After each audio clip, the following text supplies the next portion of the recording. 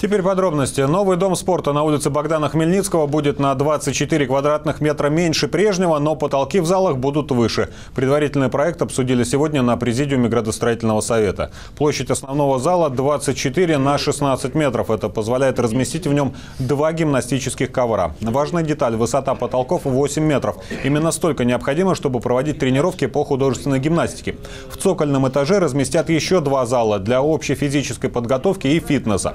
Вход Вход в здание будет со стороны улицы Богдана Хмельницкого. По словам разработчиков проекта, предусмотрены и дополнительные парковочные места для посетителей.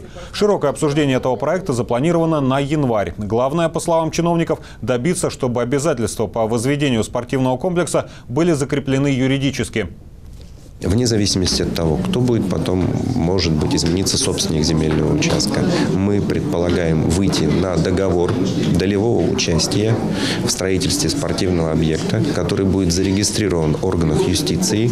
И вне зависимости от того, кто будет реализацией заниматься проектом, ну, предположим, что Альфа-строй продаст этот земельный участок, обязательства по строительству спортивного объекта будут неизменны.